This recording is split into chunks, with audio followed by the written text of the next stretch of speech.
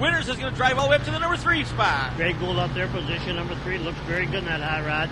And watch on the inside is Nancy Ferrantino in the Carvel Ice Cream car number 15. Here they come.